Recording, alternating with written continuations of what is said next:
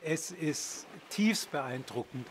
Das Ennedi-Plateau ist einfach äh, eine ökologische Nische. Der Garten Eden der Sahara, der eben einem Eindruck gibt, wie es während der grünen Sahara-Zeit vor rund 10.000 bis 5.000 Jahren ausgesehen hat.